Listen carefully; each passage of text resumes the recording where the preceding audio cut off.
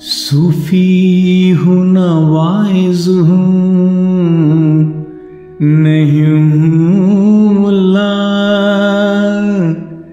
बुलबुल नहीं है गुल, जो कहूँ मैं गुल्ला। वो रिंद हूँ, मिल मैं खदाई दैर मैं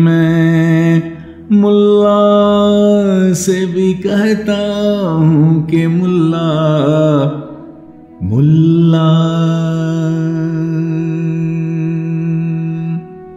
सूफी की, ईश्वर की अवधारणा सूफी के लिए अपूर्णता से पूर्णता की ओर बढ़ने का साधन है।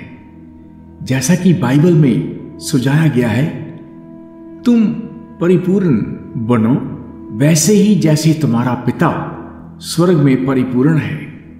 अपूर्णता की स्थिति और पूर्णता की स्थिति के बीच एक विशाल खाई है और ईश्वर वह नाव है, जिसमें व्यक्ति अपूर्णता के बंदरगाह से पूर्णता की ओर जाता है।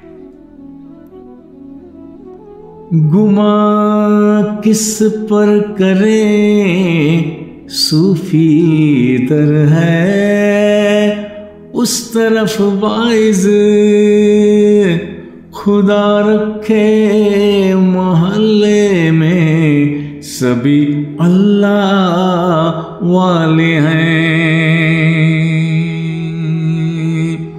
एक सूफी के लिए ईश्वर और मनुष्य दो नहीं है। सूफी ईश्वर को अपने से अलग नहीं मानते। सूफी का भगवान अकेले स्वर्ग में नहीं है, वह हर जगह है। वह अदृश्य है और दृश्य में ईश्वर को देखता है। वह ईश्वर को भीतर और बाहर दोनों में पहचानता है। इसलिए सूफी की नज़र में ऐसा कोई नाम नहीं है जो ईश्वर का नाम नहीं है और कोई रूप नहीं है जो ईश्वर का रूप नहीं है। जैसा कि जलालुद्दीन रूमी कहते हैं प्रियतम सब में है। प्रेमी केवल उसे ढक लेता है। प्रियतम वह सब है जो रहता है। प्रेमी एक मरी हुई चीज़ है। दूसरे शब्दों में, प्रेम का ये दोहरा पहलू जिसे प्रेमी और प्रिय के रूप में व्यक्त किया जाता है, वास्तव में एक है। और एक मर जाएगा और एक अकेला जिएगा, जो मरेगा वह अपूर्ण आत्म है, जो पूर्णता को ढकता है। वो जीवित रहेगा, वह पूर्ण सब है। सूफी इन दोनों पहलुओं को अपने आप में पहचानता है। अपने होने के पूर्ण और नश्वर पहलू और अपने होने के संपूर्ण अमर पहलू को पहचानता है। पूर्व का प्रतिनिधित्व, उसके बाहरी सब द्वारा किया जाता है। बाद वाला, उसके अंतरम सब द्वारा, चूँकि अपूर्ण आत्मा उसकी आत्मा को ढंक लेती है और उसे एक सीमित अस्तित्व में सीमित कर देती है।